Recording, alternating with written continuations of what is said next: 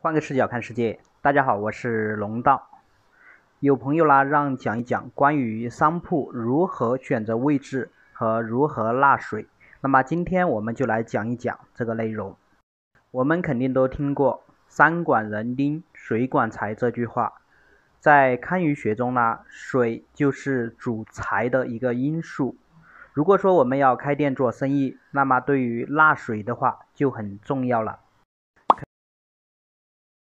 肯定呢，有朋友就要问，在城市里面都是高楼大厦的，也没有水了。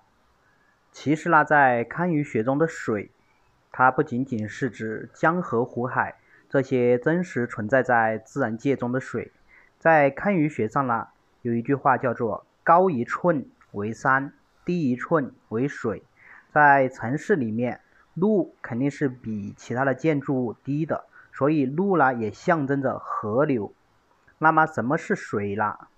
我们读书的时候肯定都学过两个词，一个呢是车水马龙，另一个是人山人海。城市里面的水指的呢就是川流不息的车流，同时呢在路上行走的人流呢也是一种水，因为人流它是流动的，所以人流呢也是水的一种。现在呢我们知道了什么是水。但是呢，我们还要因地制宜，选择了最利于自己的位置。举个例子来说，比如说我们要开一家店铺，开在闹市区或者开在住宅区，是我们第一个选择。因为呢，我们都知道这两个地区本身的话是具备了足够的人气的保障，人多的话就有挣钱的可能性。反之，如果我们一味的追求最好的风水格局，把店铺开在荒无人烟的乡下，哪怕你的纳水再好，那么你的生意也好不到哪里去。所以呢，我们选择店铺位置的时候，一定要因地制宜，选择了最利于自己的地方。做过生意的朋友应该有这样的体会，那就是说，同一段街，同一个位置，但是呢，街两边的生意却是不一样的。往往呢都是一边的生意好，一边的生意呢相对要差一些。差的那边呢，不管是做多少活动，但是呢效果往往都是差强人意。这主要的原因呢，就是中间的马路把人流切割成了两块。如果是有红绿灯和斑马线的话，车流比较慢的情况下还好一点，因为斑马线也属于桥的一种，有镇水镇财的作用。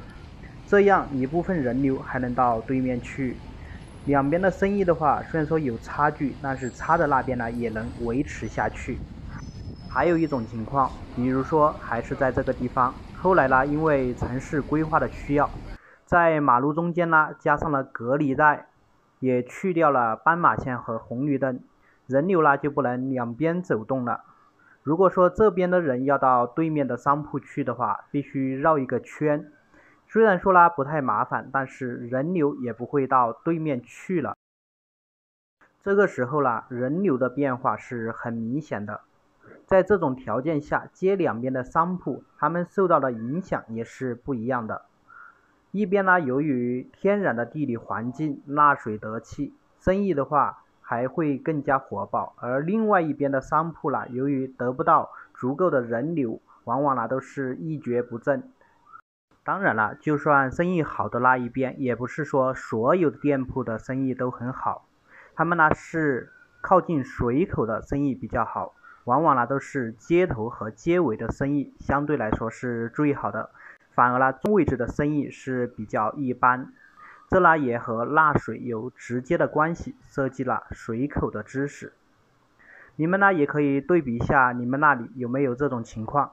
就是说，本来很热闹的街道，往往都是一边的生意比较好，而一边的生意相对来说比较冷清。还是那句话，做生意的话，一定要因地制宜，选择了合适的位置。懂得纳水的话，也是基本的原则，因为水的话就是人气，人气它就相当于是财运。今天的视频内容呢就讲到这里。大家如果有什么想了解的传统文化知识都可以在评论下方留言。我会选出大家最感兴趣的话题作为下一期的视频内容。感兴趣的朋友记得点赞关注加评论。再见。